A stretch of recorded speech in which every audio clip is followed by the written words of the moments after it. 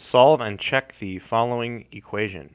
So we have 7x minus 4 equals 8 plus 6x. And so in this problem, we have to solve for x. So to solve for x, we want to get everything with an x on one side by itself.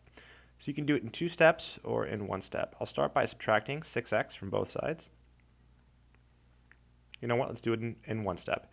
And then uh, to get rid of the 4, we'll just add 4 to both sides. So these cancel. These cancel. So you're left with 7x minus 6x. That's x. And that's equal to 12. And that is the final answer. We could check our answer. Uh, to check our answer, we would plug it back into the original. So the original equation was 7x minus 4 equals 8 plus 6x and so you would just take the 12 and you would plug it in for your x's right here. That's where you put the 12.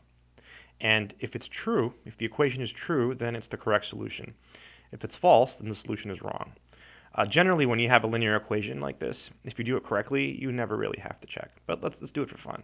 7 times 12 minus 4.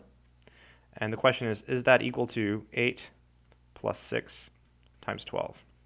So let's see, 7 times 12. So how do you do that in your head? Um, the way I do it is 7 times 10 is 70.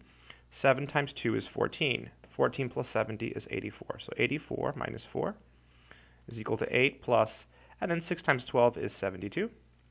So 80 is equal to 80. Yep, so this is indeed the correct solution. Hope that made sense.